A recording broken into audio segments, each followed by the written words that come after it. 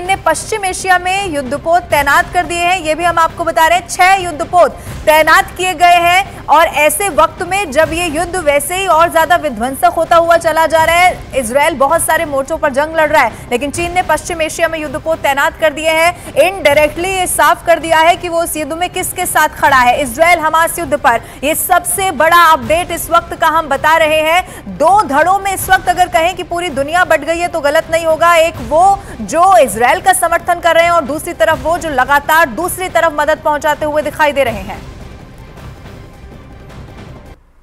तो Israel Hamas युद्ध पर यह बड़ी खबर है। चीन ने पश्चिम एशिया में युद्धपोत तैनात कर दिए हैं। चीन ने अपने छह युद्धपोत तैनात कर दिए हैं। ये बड़ी खबर है। इस युद्ध से जुड़ी हुई, इस युद्ध के बीच में जब एक तरफ़ आप देखिए इसराइल का समर्थन खुले तौर पर अमेरिका करता हुआ दिखाई दे रहा है तो चीन ने भी एक इशारा कर दिया है कि वो इस युद्ध में किसे अपना समर्थन देने के लिए तैयार है।